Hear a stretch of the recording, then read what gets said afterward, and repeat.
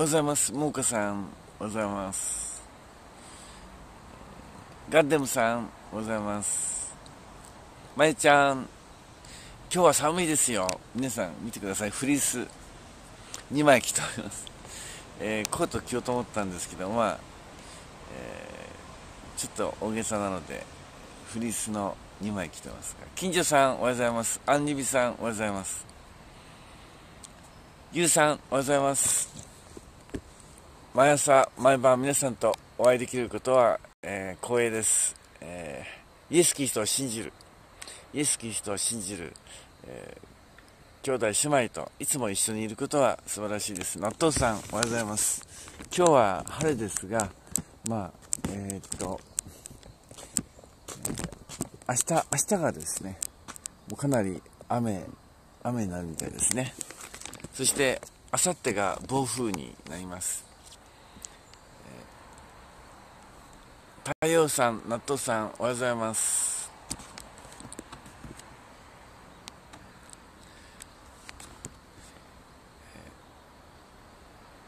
昨日ヨムキプールが終わって、えー、今度はスコットですね、スコット。ルーさんおはようございます、えー、このですねあのロシア社内から始まってまあおよそ1ヶ月ぐらいイスラエルのお祭りです、ね、それをシオンの祭りと言います。シオンの祭りそれはソロモンかな。ソロモンから始まったんでしょうか、えー、イスラエルのお祭りがあります、えーそのですね、えー、シオンの祭りが、えー、日本に来て祇園祭りになってます。みーちゃん、おはようございます。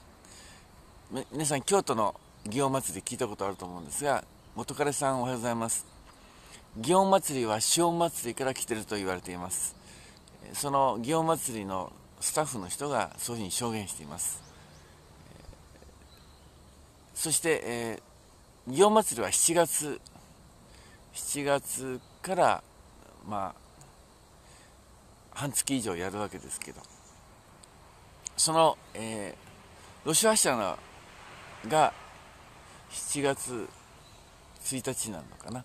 あのロシア社のはお正月なんですがイスラエルには2つのカレンダーがありますね。2つのカレンダー、え、つまり、え、ロシア社の1月というカレンダーとそれから聖書的には4月ぐらいがお正月になるのがあるんです。吸い越しの祭りをお正月とする。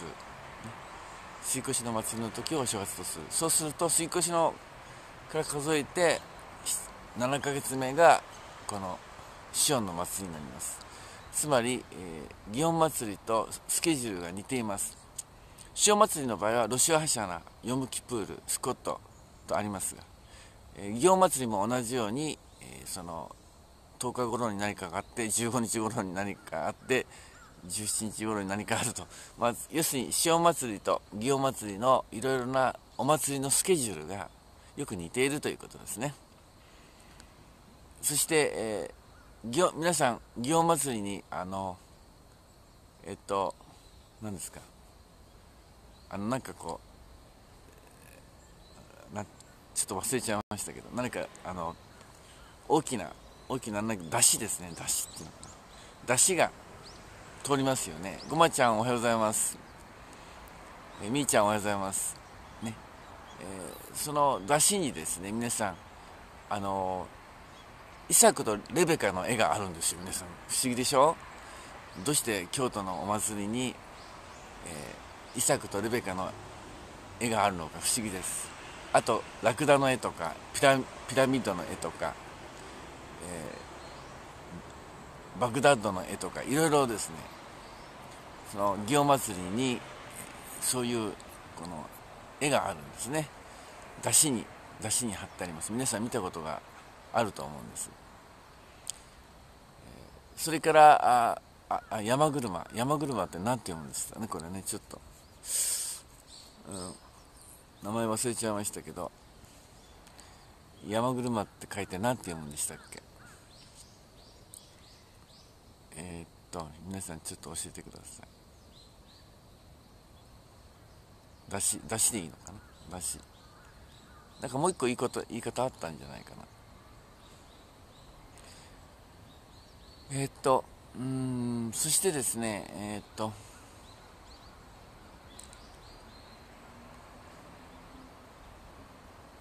あの7月17日がなんかその祇園祭で何かがあるらしいんですね。7月17日。で7月17日っていうのはノアが、えー、トルコのアララテ山に、えー、この何でしょうか、ね。箱舟がね箱舟が漂着します漂着。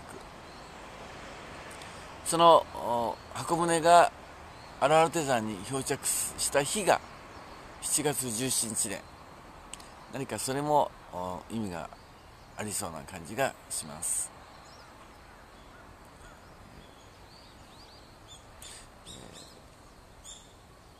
そういうわけで塩祭りと祇園祭りがあの非常に類似点があって。そして祇園祭のそのスタッフスタッフっていうかまあその、えー、祇園祭をやる人の証言によると祇園祭はイスラエルから来ている。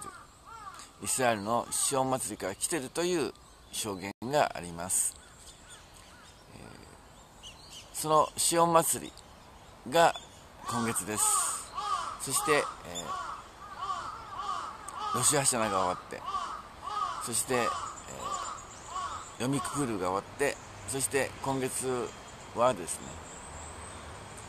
多分13日だと思うんですね。14日14日ごめんなさい。14日あたりが、えー、スコットが始まる。でスコットというのは何かというと、えー、日本語で言うと仮用の祭り。仮用の祭りっていうのはテントの祭りということでイスラエルが40年間荒野でテント生活をしたということのお祭りです。英語だと The Feast of Tabernacles The Feast of Tabernacle タバナクルっていうのがテントのことですね。幕屋ということです。でイスラエルの人たちで、まあ、1年で、まあ、一番大事な日がヨムキプールですが一番楽しいお祭りがカリオの祭りスコットなんです。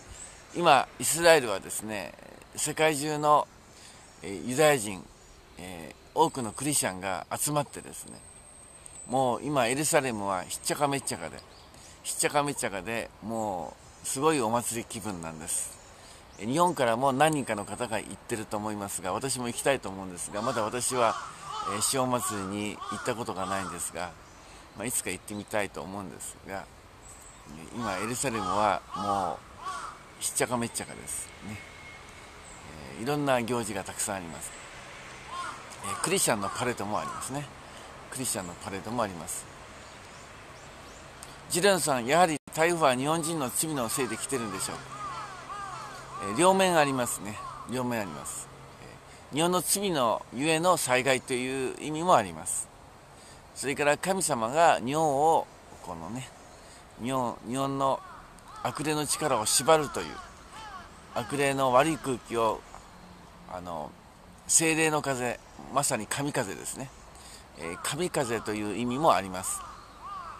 今今時台風のことを神風なんていう人はいないかもしれませんが、えー、信仰的にはですねカリスマ派的には台風は神風と考えてもいいと思います。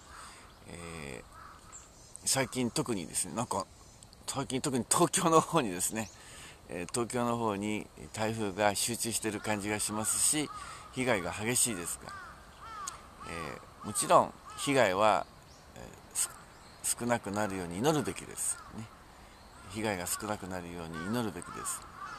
ある人はですね台風のコースがねこうずれるように祈ってる人もいます。私ももちろん祈りますが台風がコースをずれて被害が少ないように祈ることはしていいんですよ。していいんです。しかし同時にもう一つは台風を神風として、神風として日本を変える。日本を救う。悪霊を追い出す。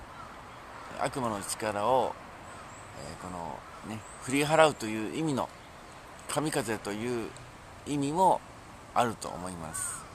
そういうわけで非常に単純ではありません、えー、両方両面があるというふうに考えます。ルーさん私も被害が少ないように祈ります。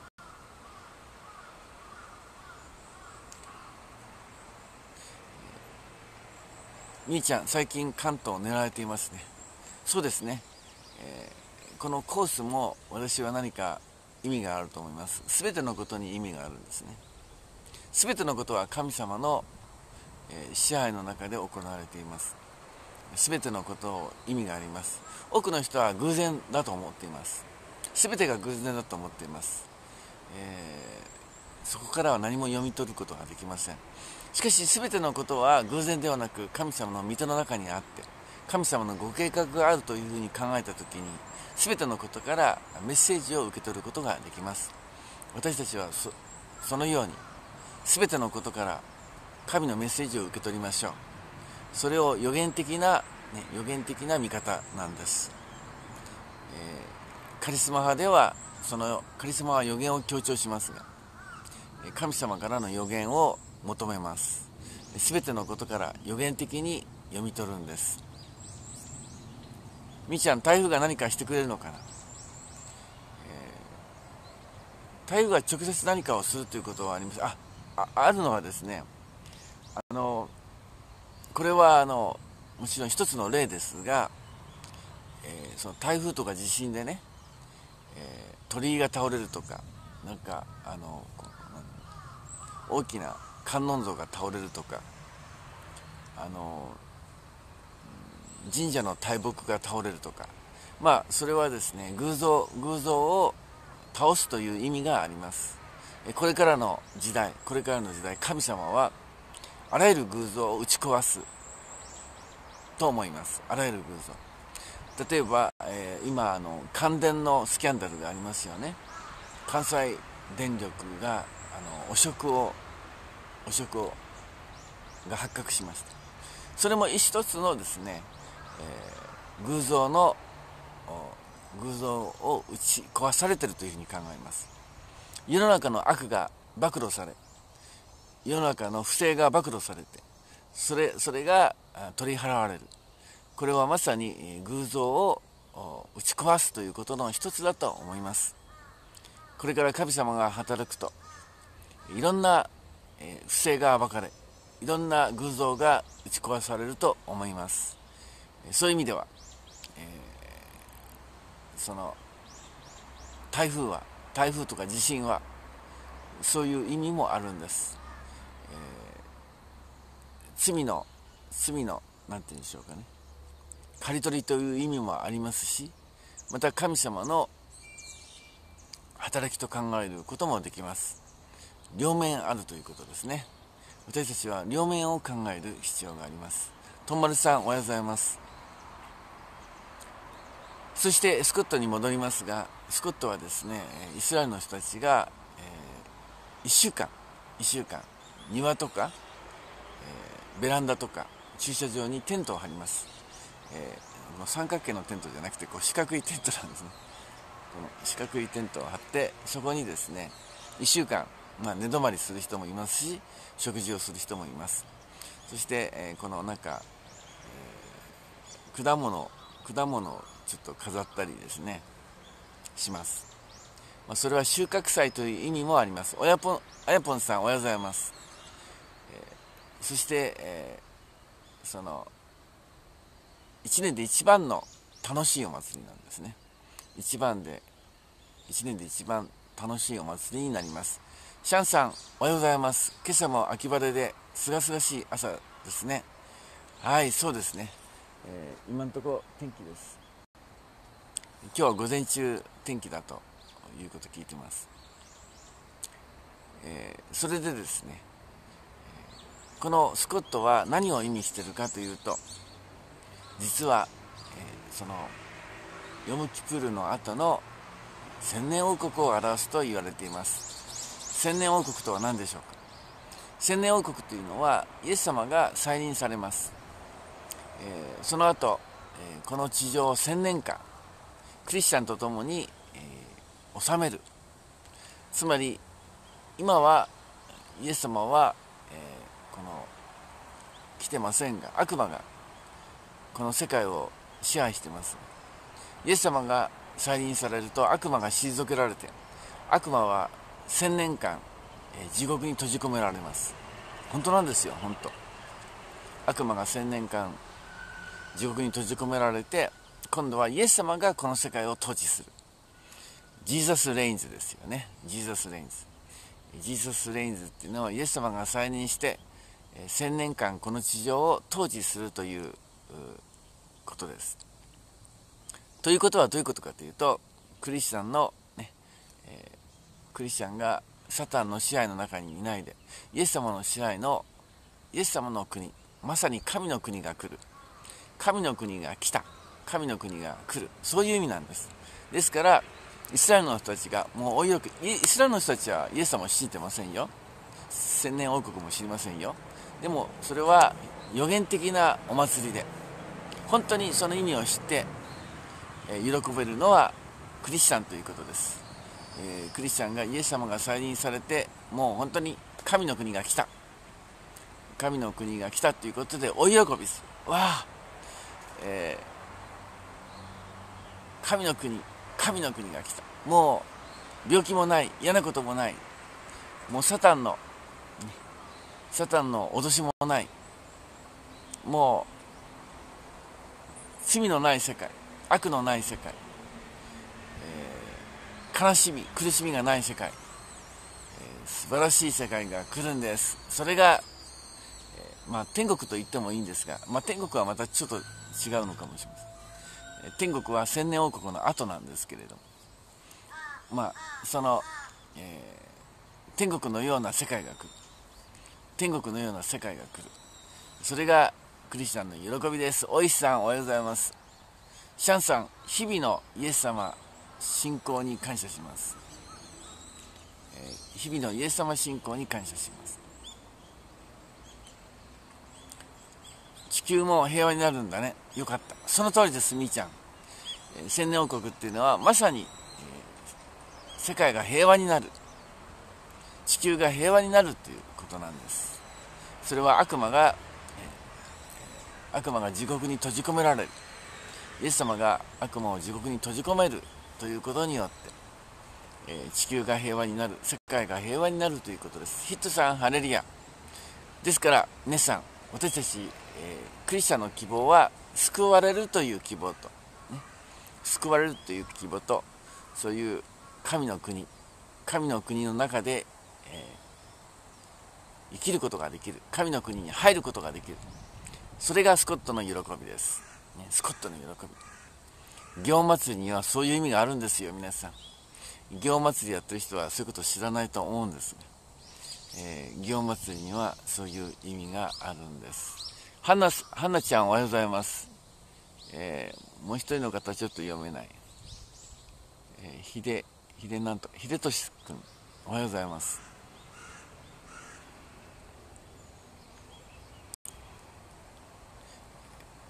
そして、皆さん、なんと、えー、そのイエス様の再臨が近いということは、ね、イエス様の再臨が近いということは、千年王国も近いということです。イエス様の再臨が近いということは、えー、その神の国が近いということですね。みーちゃん祇園祭り行ってみようかな、えー、来年の7月ですね。来年の7月が祇園祭りです。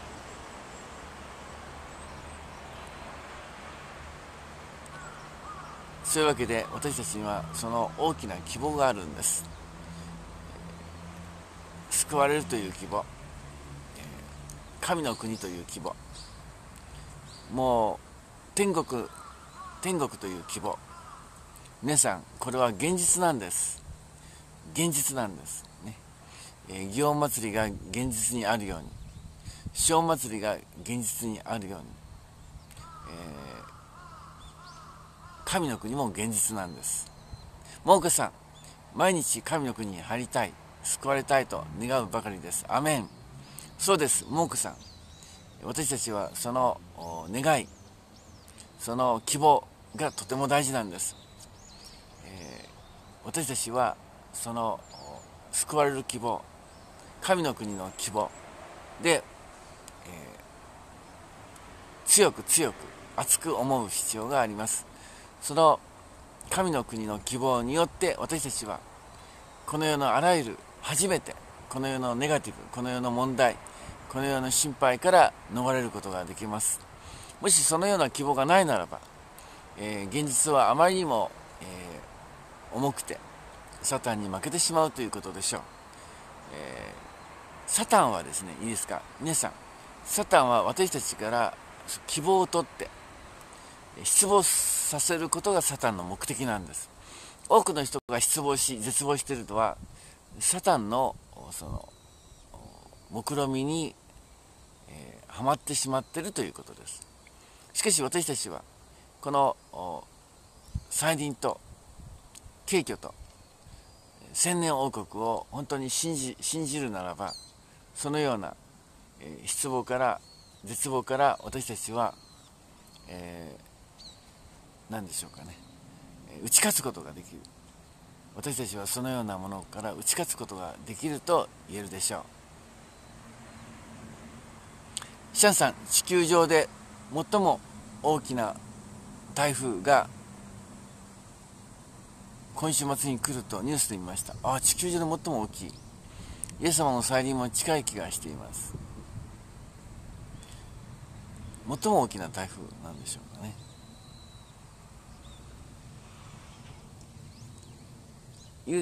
ゆゆうちゃんお仕事行ってらっしゃい。けけけさんはい。けけけさん何かおっしゃってましたですかね？ごめんなさいね。祇園祭りじゃなくて塩祭りですね。祇園 祭りじゃないです。塩祭。り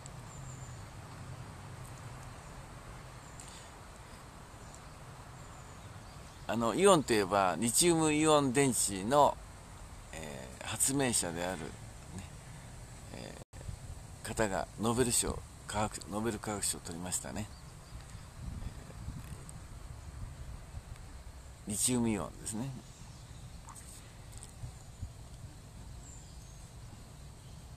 八木さん今話題のテコンドー協会の副会長岡田百合子さんのお父さんは牧師だそうです。あそうなんですか。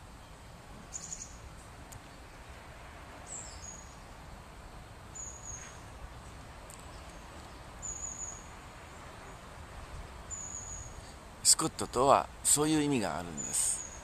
まあ日本人の人でねスコットなんて知らない人はいないと思いますが祇園祭りだったら知ってるかもしれません。クリスチャンの人はもちろん千年王国ということは知っています。千年王国を知ってますが千年王国を強調する人は少ないかもしれませんね。私たちは再臨を強調し景気を強調し千年王国を強調しましょう。それが私たちの希望ですから。希望を知らないということはよくありません。あけけさん頑張って仕事に行ってください。はい。それでは明石タイム行きましょう。明石タイム。イエス様を信じてイエス様を信じて神の国に行くという希望で、えー満ちるようになった。イエス様を信じて本当の希望はこの世にあるのではなくこの世の後に来る神の国が本当の希望になった証スタートスタートスタート。女神さん夜のドライブに行ったらあちこちに十字架が光ってた。ああそうですか。素晴らしい。十字架が光ってるってすごいですね。素晴らしい。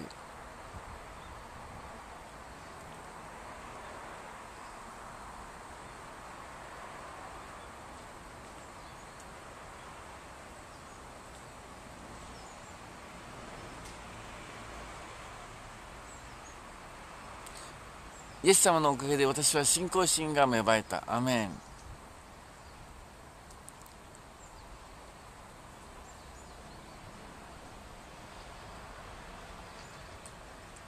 イエス様と目と目で通じ合うそういう仲になりたい静香さん。アメン。そうですね。あちこちに教会があって夜だから十字架だけが光ってた。わあ素晴らしい。えー、ソウルに行くとソウルに行くと夜ですね十字架だらけだそうですね。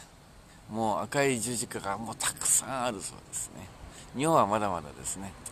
ジデロンさんやはり日本文化は外国から来たんでしょうか？イスラエルから来たんですよ。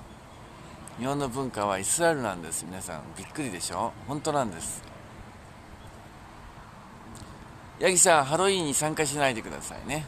ハロウィンは悪魔の悪魔のお祭りです。私たちはイエス様のお祭りをしましょう。イエス様のお祭りをしましょう、えー、悪魔のお祭りしてはいけません。隣さんイエス様を信じることで敬挙され御国に入れるように導いてくださいと祈ります。みーちゃん絶望のどん底に落ちました。彼女と別れたけど天国に行こうという目標希望ができたのでこれから生きていきます。アメン、え彼女は偶像です。ね。恋愛は偶像です。しかしみーちゃんは本当の希望を得ました。イエス様が希望です。イエス様が永遠の希望です。そしてイエス・キリストのゆえに天国に行くことができます。ヒットさんまたまた今朝元嫁と子供と動物園で遊ぶ夢を見ました、えー、その夢がね正夢になるといいですね、えー、正夢になるといいですね。女神さんやっぱりイエス様は私の神様だわ。アメン。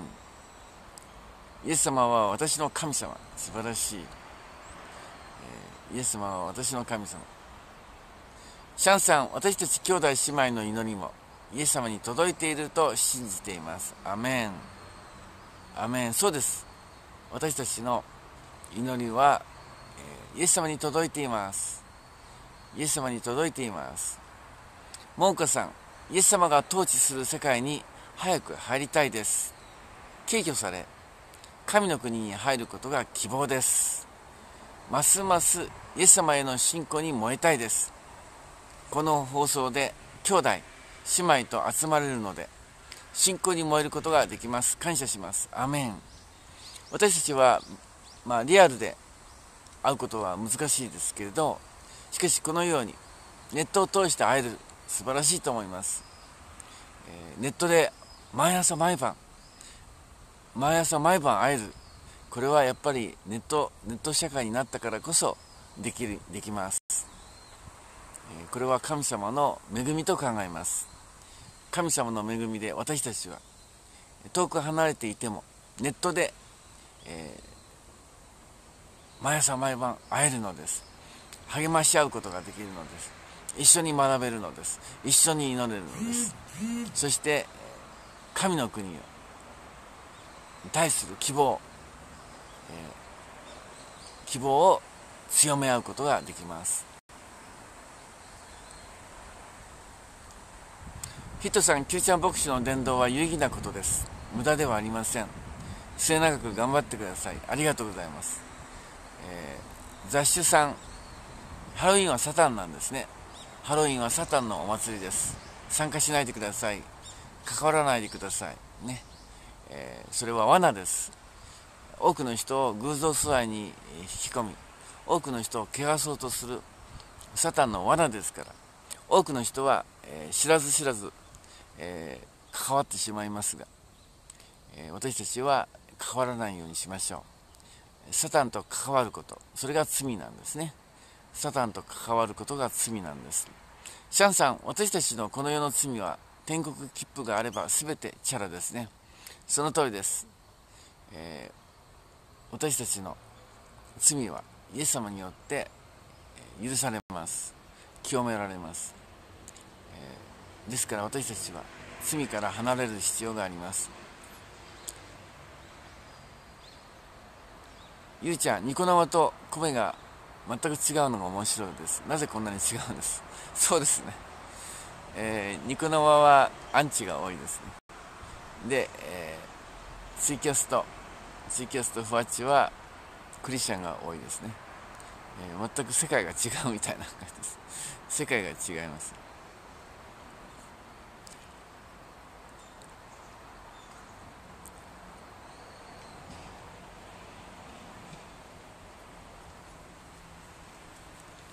もちろんニコ生の中にですね、えー、イエス様を信じる人もいますから、えー、ニコ生が全部悪いわけではありません。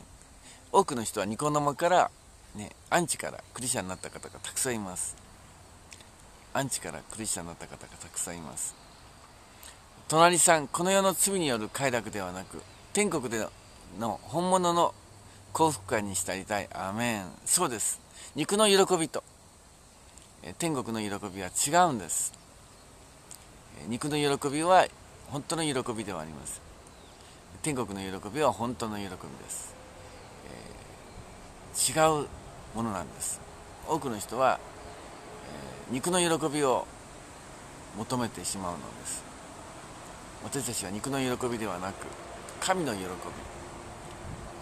天国の喜びを求めましょう。バイト行ってきます。あやこさん行ってらっしゃい。神の国の喜びはどれほど素晴らしい喜びでしょうか。神の国の喜び。それはもう本当に言葉では表せないほどほどの喜びです。天国では喜びに満ちています。この地上は悪魔が支配しているので、えー、この世の中は、えー、苦しみ悲しみに満ちています。この世の中は苦しみと悲しみと、えー、絶望に満ちています。しかし神の国は喜びと喜びと平安に満ちています。皆さん私たちは神の国に、えー、招待されているんですね、えー、神の国に招待されています。ごまちゃん千年王国でライオンと遊びたい。千年王国ではですね動物たちは非常におとなしくてですねライオンと遊べるそうです。ライオンとか、えー、コブラとかそういうですねこの地上では決して怖くてですね遊べないんですが千年王国ではそういう猛獣と遊べるそうですよ、えー、イザヤ書にそれが書いてあります。シャンさんこの世で味わえない天国の素晴らしさをたくさんの方々が知ることを祈ります。そうです。私たちは知ることができました。私たちも希望していますが多くの人にこの神の国を伝えたいのです。イエス様もこの地上に来たのは多くの人を神の国に招待するために来たんです。イエス様は私を信じるなら神の国に入れる。私を信じるなら罪が許されて神の国に入れると伝道しました。イエス様がこの地上に来たのは私たちを神の国に連れて行くために来たのです。しかしイエス様を信じなければイエス様を受け入れなければ王の王神の国の王神の国をの王を受け入れなければ神の国に入ることはできないんです。牧師さんはヨハネ・パウロ2世に会いたいですか？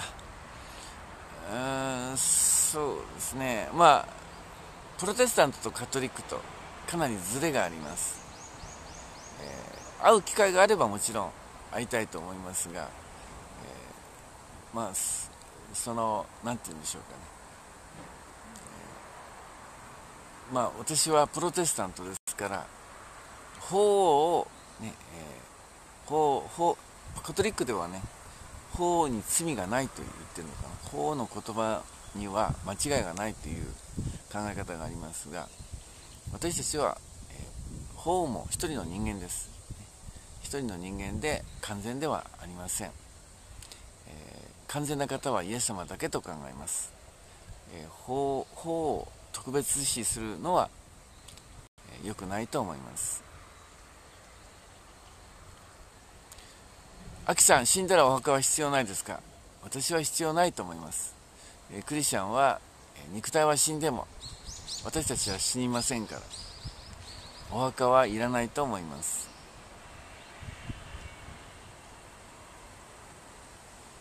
みーちゃん、えー、コブラもライオンも優しいならいい。シャンさん最近 YouTube でアメリカの大地に生きるライオン家族を見ています。あアフリカね。うんあそうですか。それでは招きをしましょう。今日の放送を聞いてああスコットというのは千年王国の予言なんだ。スコットというのは、えー、その再臨景挙の後に来るクリスチャンが入る神の国なんだということが分かった、えー、このスコットがもうすぐ来るけど私はイエス様を信じてイエス様を信じて千年王国に入りたい。神の国に入りたい。自国に行くのではなく永遠の苦しみではなく永遠の喜びの世界に入りたい。永遠の喜びの世界に入りたい。イエス様を信じて、えー、神の国に入りたいと思う人アメンと言ってください。アメン。アメン、えー、ゆかちゃんおはようございます。アメン。アメン。千年王国に入りたい。イエス様を信じて。千年王国に入りたい人。アメン。アメン。女神さんアメン。アメン。アメン。アメン。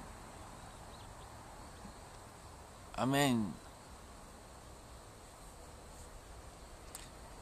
坂田さんおはようございます。天のお父様。感謝します。もうすぐスコットの時です。イスラエルではイスラエルでは1年で最高のお祭りが始まります。しかし彼らはまだ本当の意味を知りません。カリオの祭りをお祝いするけどもそれが千年王国を意味することも知らないしイエス様を信じなければその千年王国に入れないことも知りません。彼らはそのお祭りだけを知っています。どうぞイスラエルを憐れんでください。イスラエルが神に選ばれた民であるならばイエス様を受け入れてイエス様を受け入れて本当の神の民となりますように。イエス様を受け入れてイスラエルが救われますように。イスラエルが救われますように。そして日本が救われますように。日本には日本の文化はイスラエルから来ています。どうして日本にイスラエルの文化があるかそれはよく分かりません。何か意味があると信じます。イスラエルと日本に、えー、共通点があります。どうぞ、えー、イスラエルも日本にもクリスチャンが少ないということは何か特別の意味があると思います。どうぞイスラエルが救われると同時に日本も救われますように。日本とイスラエルが救われますように、えーイスラエルの文化を持った日本も救われますように。多くの人がイエス様を知って千年王国に入りたい。神の国に入りたいという希望を持ちますように。絶望の社会に失望の社会に苦しみの社会に希望を与えてください。光を当ててください、えー、イエス様を信じる人たちが世の光となりますように。世の光となって日本の社会で輝きますように。光りますように。日本に希望を与えることができますように、えー、もうすぐ19号大きな大きな台風が来ます。どうぞ守ってください。日本を守ってください、えー、災害が、えー、最小限になりますように。どうぞイエス様、え台風から日本を守ってください。台風から日本を守ってください。イエス様の皆によってお祈りします。アーメン。